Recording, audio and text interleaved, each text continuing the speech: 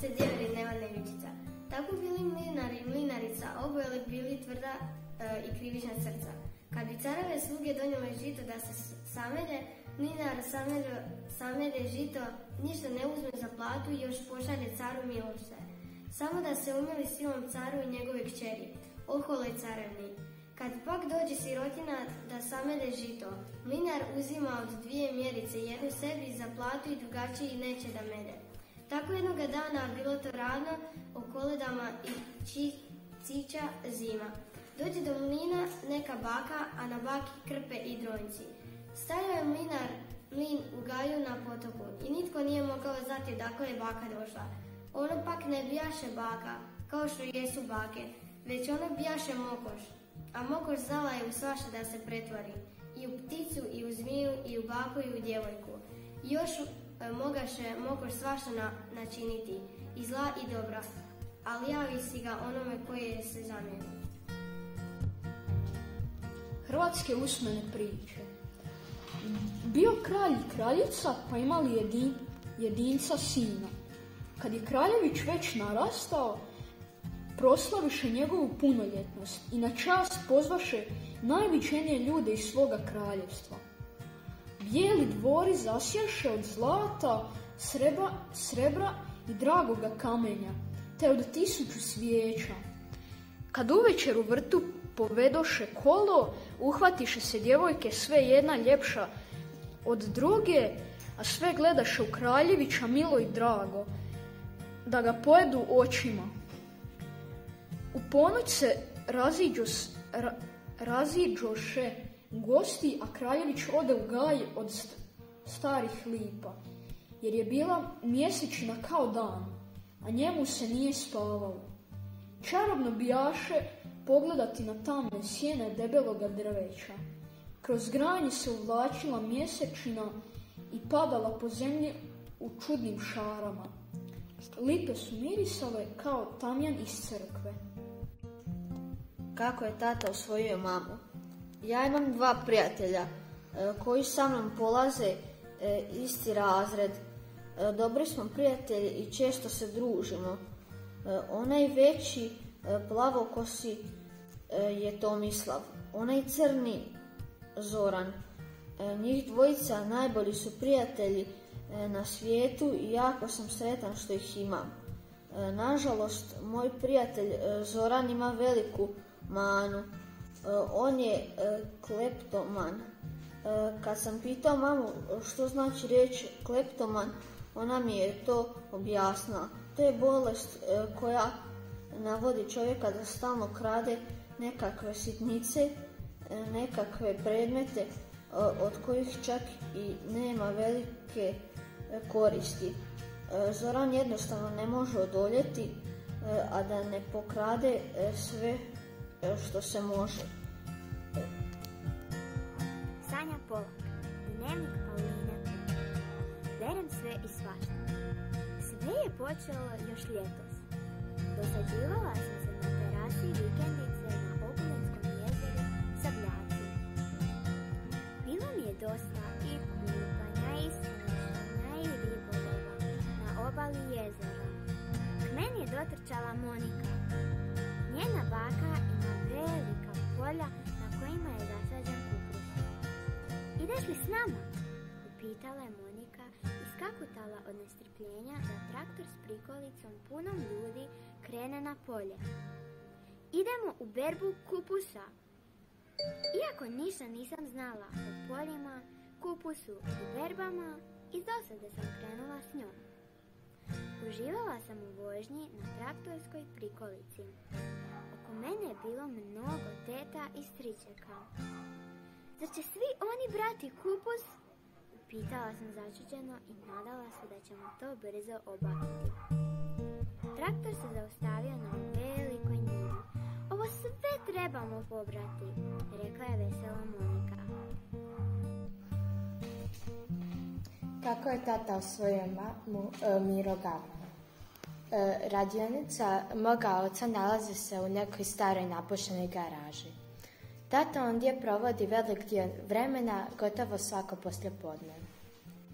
Sve te žičice, sve te sprave i sve što je ondje u meni izaziva čudnovat strah. Ali istodobno osjećam e, divljanje prema svom ocu kad je u radionici.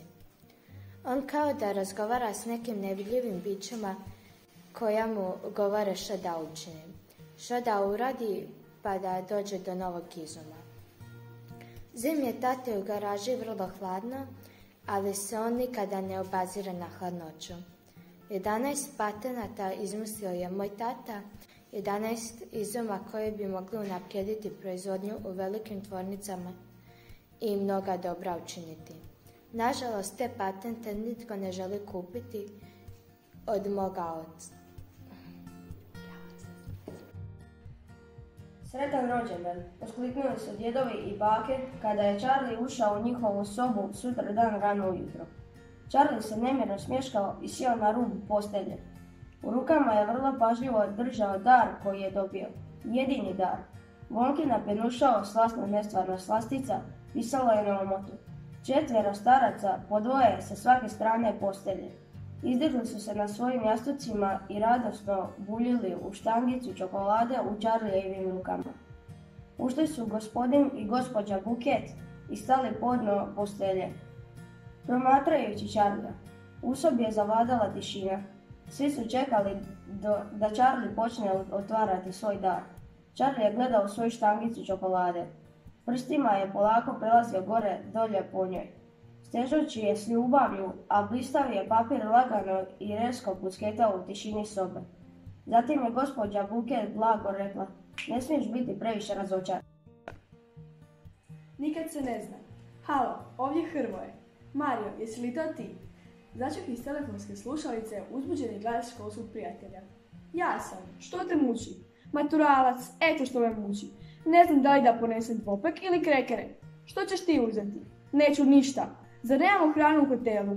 Zabrinuk se. Imamo. Misliš će nam to biti dosta? Ja nosim dodatne vitamine, kalorije i minerale. Nikad se ne zna. Razmišljam jedino je li bolje uzeti dvopek ili krekere. Što ti misliš? Ne mislim ništa. Uostalom, Dado je veći stručnjak za klopu. Pitaj njega. Mene muči drugi problem. A je li? A koji? Da pogađa? Počeo ispitivati tonom koji je odavao što misli. Greška. Pucaš u krivu metu. Problem je drugačije prirode. Zapravo su dva. Jedan je mama. Stalno me ispituje hoću li majicu s kratkim ili dugim rukavima. Hoću li deblju ili tanju vesnu. Hoću li ljetnu ili zimsku pidžamu. Pidžamu. Kika je spavala u kući s gazaricom, a hlapić nasilno s težacima. Već su svi ležali i bilo je sve tiho. Hlapić je prije spavanja još uzdahnuo. Nijesam danas, danas našao svojih čizmica. Kakve čizme? Upita onaj štežak koji je ležao kraj, kraj Hlapića. Ukrao mi je neko jutros čizme, odvrati Hlapić. I meni je neko ukrao glavi kaput, reče težak. Meni je neko ukrao sekiru, opet reče drugi. Meni je neko ukrao šunku stavana, reče treći težak. Meni je neko ukrao torbu, u torbi su bili novci, reče četvrti težak.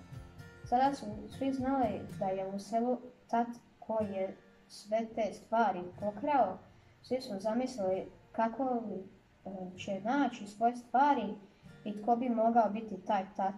A, onaj, a onda se digao mjesec na nebu i svi su zaspali. Uđe mali zaselak, pažljivo koračajući među kršem. Provjeri ono što je ostalo od jednosobnih kućeraka. Prostirke, tepisi, posuđe i šaleti za čaj razbacane posvuda. Ona prepozna taj prizor. Bio je to spašava se tko može prizor.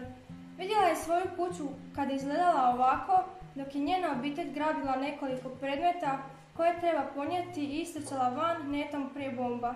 Pitala se kamo su otišli ljudi iz ovih kuća. Vjerovatno će se vratiti i popraviti štetu kad budu mislili da je sigurno.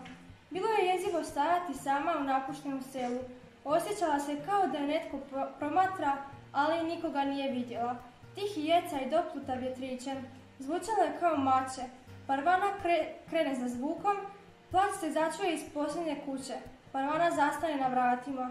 Dio krova se urušio i ona preko krša pogledom potraži izvor zvuka. I ugleda ga. Nije to bilo mače. U kutu prostora... Zbunilo me kada sam sljedećeg jutra čuo Peru kako objašnjava sobarici da odmah nakon doručka moram ići na probu kostima. Spustili smo se kat niže i zastali pred pritvorenim vratima. Je li ovo garderoba? upitao je Pero zavirivši, u prostoriju. Da, samo uđite, rekla je debeljuškasta žena koja je nagnuta na drvenom kutijom vadila iz nje čizme i seljačke opalke. Da pričekamo. Evo sad ću ja, rekla je osvrnuvši se preko ramena i izbuljila oči vidjevši moju njušku kako izvirio iza vrata. A joj, vrisnula je, je li ovo Vuk samotnjak? Jest, glavom i repu, rekao je Pero važno. Joj, opasno izgleda, grize li?